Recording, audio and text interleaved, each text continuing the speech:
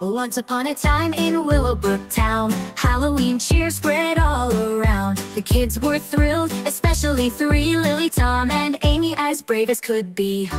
At the mansion on Maple, big and old, the Blake family awaited stories told. Ghosts in trees and witches in flight made it a Halloween magic night. Mr. and Mrs. Blake in wizardly wear welcomed the kids with share. Inside were games and masks to make, and a bubbling pot of chocolate to take.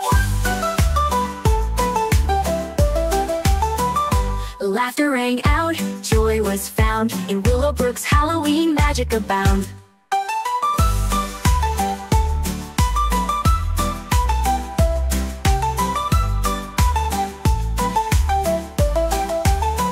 Once upon a time in Willowbrook Town, Halloween cheer spread all around. The kids were thrilled, especially three Lily, Tom, and Amy, as brave as could be.